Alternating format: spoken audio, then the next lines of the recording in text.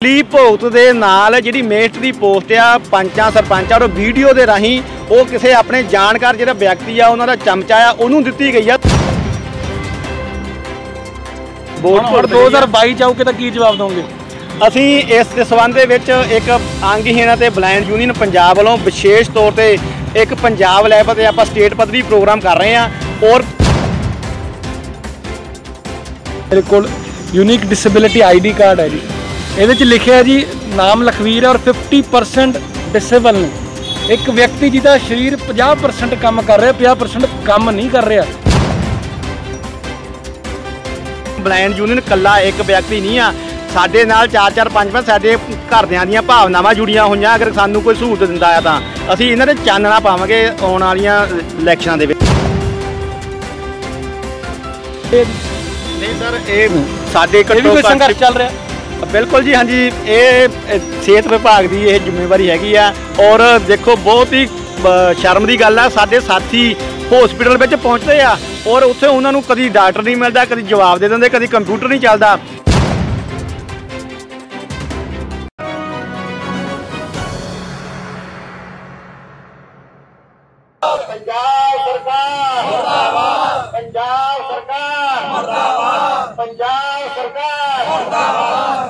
ਮੁਰਦਾਬਾਦ ਪੜ੍ਹਾਈ ਐਕਟ ਲਾਗੂ ਕਰੋ।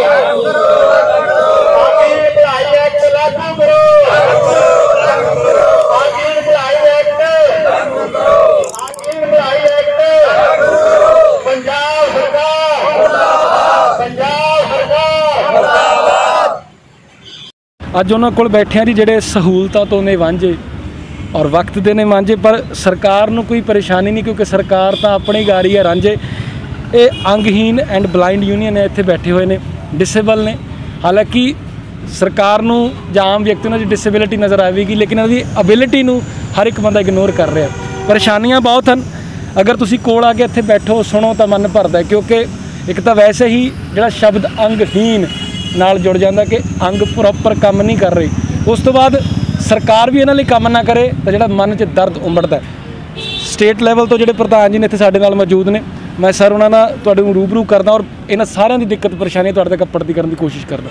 ਸਰ ਪਹਿਲੇ ਤਾਂ ਬਹੁਤ ਨਿੱਘਾ ਸਵਾਗਤ ਹੈ ਜੀ। ਥੈਂਕ ਯੂ ਜੀ। ਧੰਨਵਾਦ। ਸਰ ਐਪਲੀਕੇਸ਼ਨ 'ਚ ਕੀ ਕੀ ਲਿਖਿਆ ਹੈ ਜੀ ਔਰ ਕੀ ਕੀ ਮੰਗਾਂ ਨੇ ਇੱਕ ਵਾਰੀ ਜ਼ਰੂਰ ਤੁਸੀਂ ਸਾਂਝੀਆਂ ਕਰੋ। ਜੀ ਅਸੀਂ ਆਪਣੇ ਮਾਨਯੋਗ ਡੀਸੀ ਸਾਹਿਬ ਨੂੰ ਅੱਜ ਮੈਂ ਚਾਹੁੰਦਾ ਸਰ ਜਿਹੜੇ ਘਰ ਬੈਠੇ ਆ ਉਹਨਾਂ ਨੂੰ ਵੀ ਥੋੜਾ ਜਾਗਰੂਕ ਕਰੀਏ ਕਿ ਉਹਨਾਂ ਨੂੰ ਕੀ ਕੀ ਸਹੂਲਤਾਂ ਮਿਲਣੀਆਂ ਚਾਹੀਦੀਆਂ ਨੇ ਸਰਕਾਰ ਵੱਲੋਂ। ਕਿਉਂਕਿ ਜਿਹੜੇ ਘਰ ਬੈਠੇ ਕਈ ਵੇਲੇ ਸਾਨੂੰ ਵੀ ਫੋਨ ਕਰਦੇ ਨੇ ਜਾਂ ਆਲੇ ਦੁਆਲੇ ਕਰਦੇ ਨੇ ਜਿਨ੍ਹਾਂ ਨੂੰ ਪਤਾ ਹੀ ਨਹੀਂ ਆ ਕਿ ਸਰਕਾਰ ਦੀ ਕੀ ਜ਼ਿੰਮੇਵਾਰੀ ਹੈ, ਉਹਨਾਂ ਤੱਕ ਜ਼ਰੂਰ ਅੱਪੜ ਦੀ ਕਰੀਏ। ਜਿਸ ਤਰ੍ਹਾਂ ਕਾਫੀ ਲੰਬਾ ਸਮਾਂ ਹੋ ਗਿਆ, ਪੰਜਾਬ ਦੀ ਇੱਕੋ ਇੱਕ ਜਥੇਬੰਦੀ ਆ ਅੰਗਹੀਣ ਤੇ ਬਲੈਂਡ ਯੂਨੀਅਨ ਪੰਜਾਬ। ਔਰ ਤੁਸੀਂ ਵੇਖ ਲਿਆ ਕਿੱਥੇ ਬਾਰਡਰ ਬਲਟੋਹਾ ਤੇ ਕਿੱਥੇ ਖੇਮਕਰਨ ਤੇ ਕਿੱਥੇ ਆਪਣਾ ਪਠਾਨਕੋਟ ਆ। ਅੰਗਹੀਣ ਤੇ ਬਲਾਈਂਡ ਯੂਨੀਅਨ ਦੇ ਪੂਰੇ ਪੰਜਾਬ ਦੇ ਵਿੱਚ ਜਿਹੜੇ ਸਾਥੀ ਆ, ਉਹ ਆਪਣੇ ਸਾਥੀਆਂ ਨੂੰ ਜਾਗਰੂਕ ਕਰਨ ਵਾਸਤੇ ਪੂਰਾ ਪੂਰੀ ਤਰ੍ਹਾਂ ਬਾਹਰ ਲਾ ਰਹੇ ਆ ਔਰ ਸ- ਪ੍ਰਸ਼ਾਸਨ ਨੂੰ ਲਗਾਤਾਰ ਹੀ ਅੰਗਹੀਣ ਭਲਾਈ ਐਕਟ ਔਰ ਜੋ ਬਹੁਤ ਲੰਬੇ ਸਮੇਂ ਤੋਂ ਜੋ ਮਿਹਟ ਪੋਸਟ ਆ ਉਹ ਵੀ ਸਾਡੇ ਅੰਗਹੀਣਾਂ ਦੀ ਆ। ਔਰ ਮਿਲੀ ਭੋਲੀ ਭੁਗਤ ਦੇ ਨਾਲ ਜਿਹੜੀ ਮੇਸਟ ਦੀ ਪੋਸਟ ਆ, ਪੰਚਾਂ, ਸਰਪੰਚਾਂ ਔਰ ਵੀਡੀਓ ਦੇ ਰਾਹੀਂ ਉਹ ਕਿਸੇ ਆਪਣੇ ਜਾਣਕਾਰ ਜਿਹੜਾ ਵਿਅਕਤੀ ਆ, ਉਹਨਾਂ ਦਾ ਚਮਚਾ ਆ, ਉਹਨੂੰ ਦਿੱਤੀ ਗਈ ਆ, ਸਾਡੀ ਪੋਸਟ ਤੇ ਕਬਜ਼ਾ ਕੀਤਾ ਗਿਆ। ਇਸੇ ਕਰਕੇ ਕਿਉਂਕਿ ਸਾਡੇ ਸਾਥੀਆਂ ਨੂੰ ਪਤਾ ਨਹੀਂ ਆ, ਔਰ ਅਸੀਂ ਉਹਨਾਂ ਨੂੰ ਜਾਗਰੂਕ ਕਰਨ ਦੀ ਕੋਸ਼ਿਸ਼ ਕਰ ਰਹੇ ਆ, ਔਰ ਮੈਂ ਜਿੰਨੇ ਵੀ ਸਾਡੇ ਸਾਥੀ ਬੈਠੇ ਆ, ਔਰ ਉਹਨਾਂ ਨੂੰ ਮੈਂ ਬੇਨਤੀ ਕਰਦਾ ਕਿ ਆਪਾਂ ਘਰਾਂ ਚੋਂ ਬਾਹਰ ਨਿਕਲ ਕੇ ਆਪਣੇ ਹੱਕਾਂ ਦੇ ਪ੍ਰਤੀ ਜਾਣਕਾਰੀ ਪ੍ਰਾਪਤ ਕਰੀਏ ਔਰ ਤਾਂ ਜੋ ਕਿ ਜੋ ਸਾਡੇ ਹੱਕ ਆ ਜੋ ਸਰਕਾਰਾਂ ਨੇ ਦੱਬੇ ਹੋਏ ਆ ਉਹਨਾਂ ਦੀ ਅਸੀਂ ਵਧੀਆ ਤਰੀਕੇ ਨਾਲ ਪ੍ਰਾਪਤੀ ਕਰ ਸਕੀਏ। ਵੋਟਾਂ ਵੇਲੇ ਤੁਹਾਡੇ ਤੱਕ ਪਹੁੰਚਦੇ ਨੇ ਜੀ ਸਾਰੇ?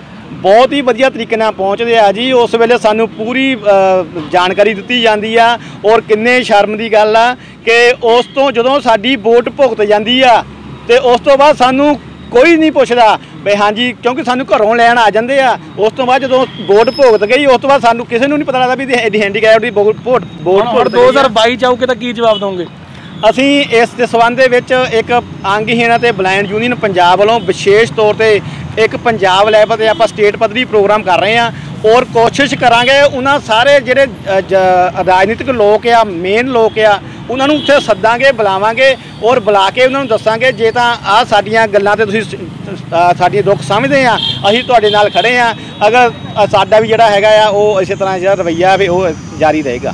ਮੈਂ ਲਾਸਟ ਵਿੱਚ ਇੱਕ ਗੱਲ ਕਹਿਣੀ ਚਾਹੁੰਦਾ ਜੀ, ਆ ਮੇਰੇ ਕੋਲ ਯੂਨੀਕ ਡਿਸੇਬਿਲਿਟੀ ਆਈਡੀ ਕਾਰਡ ਹੈ ਜੀ। ਇਹਦੇ 'ਚ ਲਿਖਿਆ ਜੀ, ਨਾਮ ਲਖਵੀਰ ਹੈ ਔਰ 50% ਡਿਸੇਬਲ ਨੇ।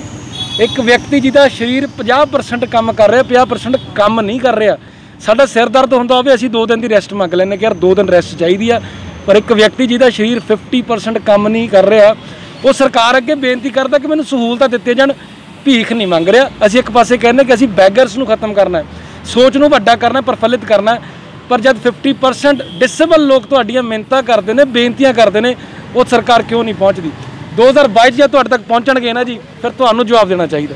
ਅਸੀਂ ਅੰਗਹੀਣ ਤੇ ਬਲੈਂਡ ਯੂਨੀਅਨ ਪੰਜਾਬ ਦੀ ਜਿੰਨੀ ਵੀ ਸਾਡੀ ਜਥੇਬੰਦੀ ਆ, ਕਿਉਂਕਿ ਸਾਡੇ ਹੀ ਪੂਰੇ ਪੰਜਾਬ ਦੇ ਵਿੱਚ ਸਾਥੀ ਬਿਲਕੁਲ ਜਾਗਰੂਕ ਹੈਗੇ ਆ, ਸਰਕਾਰਾਂ ਦੇ ਪ੍ਰਤੀ ਵੀ। ਔਰ ਸਾਡਾ ਇਹ ਨਾਰਾ ਵੀ ਹੈਗਾ ਆ ਕਿ ਜੋ ਸਾਡੇ ਨਾਲ ਖੜੇਗਾ, ਅਸੀਂ ਉਸ ਦੇ ਨਾਲ ਖੜਾਂਗੇ। ਸੋ ਇਸ ਕਰਕੇ ਅਸੀਂ 22 ਦੇ ਵਿੱਚ ਜਿੱਥੇ ਇਹ ਰਾਜਨੀਤਿਕ ਲੋਕ ਆਮ ਲੋਕਾਂ ਪਿੱਛੇ ਭੱਜਦੇ ਆ, ਤੁਸੀਂ ਦੇਖਿਓ, ਉੱਥੇ ਅੰਗਹੀਣ ਦੇ ਬਲਾਈਂਡ ਯੂਨੀਅਨ ਦੇ ਪਿੱਛੇ ਭੱਜਣਗੇ ਔਰ ਇਹਨਾਂ ਦੇ ਜਿਹੜੇ ਕੰਮ ਆ ਨਾ, ਇਹਨਾਂ ਨੂੰ ਪਤਾ ਲੱਗ ਜਾਏਗਾ ਕਿ ਅੰਗਹੀਣ ਬਲਾਈਂਡ ਯੂਨੀਅਨ ਕੱਲਾ ਇੱਕ ਵਿਅਕਤੀ ਨਹੀਂ ਆ। ਸਾਡੇ ਨਾਲ ਚਾਰ ਚਾਰ, ਪੰਜ ਪੰਜ ਸਾਡੇ ਘਰਦਿਆਂ ਦੀਆਂ ਭਾਵਨਾਵਾਂ ਜੁੜੀਆਂ ਹੋਈਆਂ, ਅਗਰ ਸਾਨੂੰ ਕੋਈ ਸਹੂਲਤ ਦਿੰਦਾ ਆ ਤਾਂ।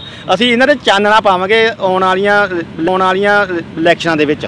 ਲਾਸਟ ਵਿੱਚ ਸਿਰਫ ਵੀਡੀਓ ਨੂੰ ਰੈਪ ਅਪ ਕਰਨ ਸਿਰਫ ਇੰਨਾ ਕਹਿਣਾ ਚਾਹੁੰਦਾ ਕਿ ਡਿਸੇਬਲ ਨਹੀਂ, ਇਹ ਸਪੈਸ਼ਲ ਲੋਕ ਹੁੰਦੇ ਨੇ। ਰੱਬ ਦੇ ਪਿਆਰੇ ਹੁੰਦੇ ਨੇ ਆਪਾਂ ਕਿਵੇਂ ਲੈ ਕਹਿੰਦੇ ਕਿ ਰੱਬ ਦੇ ਮਾਰੇ ਪਰ ਰੱਬ ਦੇ ਮਾਰੇ ਨਹੀਂ। ਪਿਆਰੇ ਆ ਸਾਡਾ ਫਰਜ਼ ਬਣਦਾ ਕਿ ਇਹਨਾਂ ਨੂੰ ਵਾਧੂ ਪਿਆਰ ਦਈਏ। ਜਿੰਨਾ ਪਿਆਰ ਇਹ ਲੋੜੀਂਦਾ ਨੇ ਉਸ ਤੋਂ ਦੁੱਗਣਾ ਪਿਆਰ ਦਈਏ ਤਾਂ ਉਹ ਸੱਚੀ ਖੁਸ਼ ਹੋਏਗਾ। ਇਹ ਗੱਲ ਜਿਹੜੀ ਹੈ ਸਰਕਾਰਾਂ ਨੂੰ ਵੀ ਮੰਨ ਲੈਣੀ ਚਾਹੀਦੀ ਹੈ ਔਰ ਲਾਸਟ ਵਿੱਚ ਮੈਂ ਤੁਹਾਡੇ ਤੋਂ ਇੰਨੇ ਸਵਾਲ ਪੁੱਛਣਾ ਚਾਹੁੰਦਾ ਇਹ ਡਿਸੇਬਲ ਕਾਰਡ ਸਾਰਿਆਂ ਦੇ ਬਣੇ ਹੋਏ ਆ ਜੀ? ਜੀ ਨਹੀਂ ਸਰ ਇਹ ਸਾਡੇ ਵੀ ਕੋਈ ਸੰਘਰਸ਼ ਚੱਲ ਰਿਹਾ? ਬਿਲਕੁਲ ਜੀ ਹਾਂਜੀ। ਇਹ ਸਿਹਤ ਵਿਭਾਗ ਦੀ ਇਹ ਜ਼ਿੰਮੇਵਾਰੀ ਹੈਗੀ ਆ। ਔਰ ਦੇਖੋ ਬਹੁਤ ਹੀ ਸ਼ਰਮ ਦੀ ਗੱਲ ਆ। ਸਾਡੇ ਸਾਥੀ ਹਸਪੀਟਲ ਵਿੱਚ ਪਹੁੰਚਦੇ ਆ ਔਰ ਉੱਥੇ ਉਹਨਾਂ ਨੂੰ ਕਦੀ ਡਾਕਟਰ ਨਹੀਂ ਮਿਲਦਾ ਕਦੀ ਜਵਾਬ ਦੇ ਦਿੰਦੇ ਕਦੀ ਕੰਪਿਊਟਰ ਨਹੀਂ ਚੱਲਦਾ। ਇਹਦਾ ਵਾਸਤੇ ਵੀ ਸਾਨੂੰ ਸੰਘਰਸ਼ ਹੀ ਕਰਨਾ ਪੈਂਦਾ ਜਦ ਕਿ ਸਾਡਾ ਮੁੰਡਲਾ ਇਹ ਹੱਕ ਆ। ਉਹਦੇ ਯੂਡੀ ਆਈਡੀ ਕਾਰਡ ਦੇ ਲਈ ਵੀ ਸਾਨੂੰ ਜਿੰਨੇ ਵੀ ਬਣਨ ਸਾਡੇ ਤੋਂ ਬਾਅਦ ਕੋਈ ਲਾਭ ਵੀ ਨਹੀਂ ਹੁੰਦਾ। ਪਹਿਲਾਂ ਬਣਾਉਣ ਲਈ ਸੰਘਰਸ਼ ਮੁੜ ਕੇ ਬਣਨ ਤੋਂ ਬਾਅਦ ਵੀ ਕੋਈ ਲਾਭ ਨਹੀਂ। ਉਸ ਤੋਂ ਬਾਅਦ ਵੀ ਸਾਨੂੰ ਸੰਘਰਸ਼ ਜੀ ਉਸ ਤੋਂ ਬਾਅਦ ਵੀ ਸਾਨੂੰ ਸੰਘਰਸ਼ ਆ। ਅਸੀਂ ਦਾਖਲਾ ਲੈ ਲਿਆ ਦਾਖਲਾ ਤੋਂ ਬਾਅਦ ਪੜ੍ਹਾਈ ਕਰਨੀ ਆ ਪੜ੍ਹਾਈ ਨਹੀਂ ਆ ਉਸ ਤੋਂ ਬਾਅਦ ਵੀ ਸਾਨੂੰ ਸੰਘਰਸ਼ ਹੀ ਕਰਨਾ ਪੈਂਦਾ ਜੀ। ਬਹੁਤ ਸ਼ੁਕਰੀਆ। ਸੋ ਤੁਸੀਂ ਦੇਖ ਲੈਨੇ ਪੂਰੇ ਹਾਲਾਤ ਜੀ। ਜ਼ਿੰਦਗੀ ਸੰਘਰਸ਼ਾਂ ਨਾਲ ਭਰੀ ਹੈ। ਜੰਮਦੇ ਆ, ਕਿਸੇ ਨੂੰ ਪੋਲੀਓ ਹੋ ਗਿਆ, ਕੋਈ ਐਕਸੀਡੈਂਟ ਨਾਲ ਬਾਡੀ ਡੈਮੇਜ ਹੋ ਗਈ 50% ਕੋਈ ਡੈਮੇਜ ਨੇ ਬਾਡੀ ਗਈਆਂ ਦੀ ਕਈਆਂ ਦੀ 70% ਡਿਸੇਬਿਲਿਟੀ ਹੈ ਜ਼ਿੰਦਗੀ ਸੰਘਰਸ਼ ਹੈ ਕਾਰਡ ਬਣਾਉਣ ਲਈ ਵੀ ਸੰਘਰਸ਼, ਉਸ ਤੋਂ ਬਾਅਦ ਸਹੂਲਤਾਂ ਲੈਣ ਲਈ ਵੀ ਸੰਘਰਸ਼, ਉਸ ਤੋਂ ਬਾਅਦ ਜਿਹੜੇ ਧਰਨੇ ਲਾਉਣੇ ਪੈਂਦੇ ਆ। ਤਾਂ ਆਪਾਂ ਕਿਵੇਂ ਕਹਿ ਸਕਦੇ ਕਿ ਸਾਡਾ ਪੰਜਾਬ ਤਰੱਕੀ ਦੇ ਰਾਹ ਤੇ ਮਿਸ਼ਨ ਫਤਿਹ ਹੋ ਰਿਹਾ ਮਿਸ਼ਨ ਫਤਿਹ ਤਾਂ ਤਾਂ ਹੋਏਗਾ, ਘੱਟੋ ਘੱਟ ਯਾਰ ਤੁਸੀਂ ਇਹ ਚੀਜ਼ ਕਹਿ ਦਿੰਦੇ ਆ ਕਿ ਫਲਾਣੇ ਦੂਜਾ ਧੜਾ ਹੈ, ਇਹ ਤਾਂ ਕਿਸੇ ਧੜੇ ਚੋਂ ਨਹੀਂ ਹੈ ਇਹਨਾਂ ਨੂੰ ਤਾਂ ਘੱਟੋ ਘੱਟ ਸੀ ਆਪਣੇ ਧੜੇ ਦੇ ਮੰਨੀਏ। ਔਰ ਸਰਕਾਰ ਅੱਗੇ ਬੇਨਤੀ ਹੈ ਕਿ ਇਹਨਾਂ ਦੀ ਮੰਗਾਂ ਪਹਿਲ ਦੇ ਆਧਾਰ ਤੇ ਮੰਨੀਆਂ ਜਾਣ, ਕਿਉਂਕਿ ਜਦੋਂ ਅਸੀਂ ਡਿਸੇਬਿਲਿਟੀ ਕਾਰਡ ਹੀ ਬਣਾ ਦਿੱਤਾ ਮੰਨੇ ਹੀ ਲੈ ਕੇ ਡਿਸੇਬਲ ਨੇ। ਫਿਰ ਸਾਡੀ ਅਬਿਲਿਟੀ ਆ ਕਿ ਅਸੀਂ ਇਹਨਾਂ ਨੂੰ ਇਹਨਾਂ ਦੇ ਹੱਕ ਪਹੁੰਚਦੇ ਕਰੀਏ। ਬੜੇ ਰਹਿਣਾ ਵੀ ਬੱਤੀ ਨਵਾਂ ਸ਼ਹਿਰ ਨਾਲ, ਆਪਣੀ ਛੋਟੀ ਵੀ ਤਨੇਸਰੀ ਕੈਮਰਾ ਪਰਸਨ ਵਿੱਚ ਕੋਨ ਇਜਾਜ਼ਤ ਦਿਓ। ਬਹੁਤ ਜਲਦੀ ਫਿਰ ਆਵਾਂਗੇ ਸਤਿ ਸ਼੍ਰੀ ਅਕਾਲ।